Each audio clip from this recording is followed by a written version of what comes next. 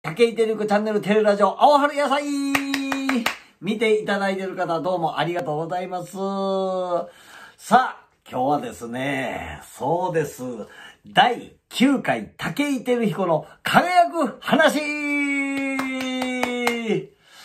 えー、まあ僕は今、あの、介護施設で、うん、去年の12月から、えー、週3回ぐらいちょっとアルバイトさせていただいてるんですけど、まあ、おじいちゃんおばあちゃん、まあ、利用者さんですよね。そのおじいちゃんおばあちゃんの部屋を掃除したり、えー、食事をお手伝いしたり、で、洗濯したりとか、そういう風な、えー、アルバイトをさせていただいてるんですけど、まあ、その利用者さんでね、まあ、おじいちゃんおばあちゃん、いろんな方がおられますよ。うーん。そんでね、まあ、部屋掃除、こうしに行ったら、まあ、あの、ね、まあ、歩き、はる方もいてはるし、もうベッドで寝たままっていう方もおられるし、いろんな方が、まあ、いてるんですよ。えー、それでね、ある、まあ、男性の方は、それはもうおじいちゃんというほど、そんな年いってない、まあ、60代ぐらいの人なんですよ。その人は、あの、ちょっと言葉が喋れないんですよ。えー、それで、まあ、あの、最初、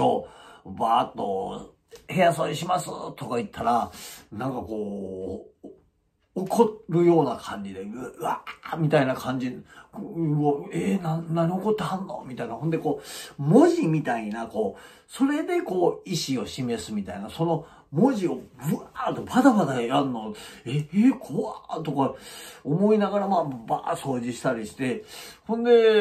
もうそこの、なんなんやろ、部屋を掃除するのが嫌やな、みたいな、ちょっとあったんですよ。で、まあ、2回3回行ってもなんかこう、バタバタするんですよ。みたいな、うん、するんですよ。すいません、あの、お部屋を掃除させてもらいますねって、ちょっとこう、丁寧にこう、もうちょっとゆっくりこう、喋りかけたら、じゃあこうやるからその文字盤を立てろみたいな。ほんでその文字盤を立てたら、あの、文字をこう、一個ずつこう、穴を、あいうえおのずっとこう、穴をこう、指を入れていくんですよ。それで、ま、ど、を、あ、け、ろって。あ、窓を開けろ。あ、そういう時換気をしろっていう。あ、ほんでこう窓を開けたら、そうそう、オッケーみたいな。あ、ほんでちょっと、んみたいな感じでね、ちょっと怒った感じなんですよ。んみたいな感じで、ちょっと怖い感じの人、うん、ほんでまあ言葉が喋れないという。うん、それでまあ掃除してこう終わったら、あの、まあ、どうしめろ、みたいなな。ほんでこう窓閉めたら、オッケーみたいな感じ。それでまあまあ、うーん、まあもう10回以上、うん、そこの部屋も、えー、おせ、掃除させてもらうようになったんです。そんでね、この前、また行ったら、えー、掃除させてもらいます。だまだこう、怒った顔で、ちょっと怖いんですよ。ほんで、まあ、どう、あけろ、みたいなんで。こう窓開けて、うん、うん、大きたら、うん、ってやるんですよ。それでまあまあ掃除、えー、掃除かけて、モップがけして、で、トイレ掃除して、それで、まああのね、まあ、こう除菌でこ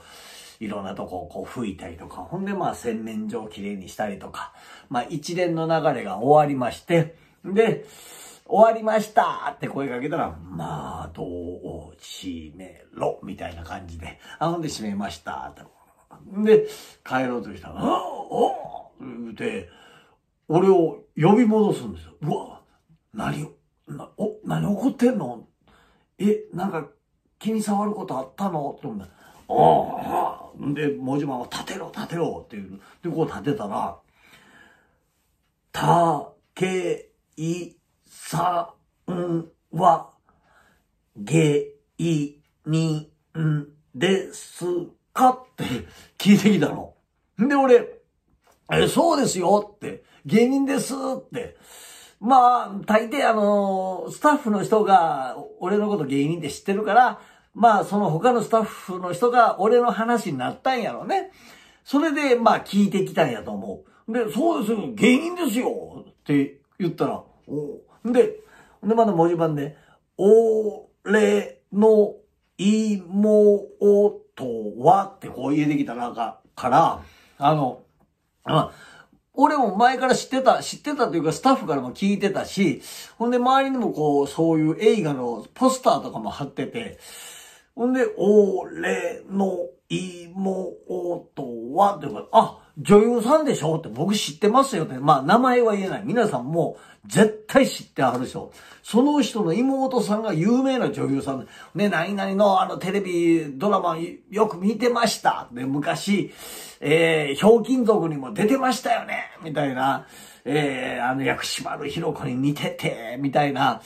そんな話したら、すっごい嬉しそうな顔して、ほんで、島に僕ね、すっごいあの人の芝居好きなんですよ。ほんで、下北沢の劇場も芝居見に行ったことあるんです。だから、ブロー泣き出して嬉しそうに、よっぽどこう、じ、妹が自慢やったんやらね。うん。まあ、名前は言えないですけど、その妹の旦那さんも有名な役者さんですよ。うん、夫婦ともが役者ですよ。それでね、あの芸人ってお笑いですかって、そうですよって、どんなって、どんなっていうか、あ、あの、漫談一人喋りなんですよ。浅草の劇場とか出てるんですよ。とか、嬉しそうにしてくれて。で、どんなってさっきやった、ネタってやったら、あ、どんなネタをするの？って、ほんで、俺もまあなんかこう、なんかすごくこう近づけたような感じで、ほんでまあ、本当にこう喋れないけど、その文字でお互いの気持ちがこう繋がったみたいな感じで嬉しいなった俺テンション上がってもうて、ちょっとネタやりましょうかってうん、みたいな感じで、ほんで、やりますわ言うて。で、まあ、1分ぐらいのネタをバー喋ったんですよ。で、どうですか？言うたら、文字盤バー押して、俺もこう見たら、うーん。なあ、落ち込むわ。なあ、文字でな、うーん。うーんと、引っ張るやつの二つ。うーん。って いう話。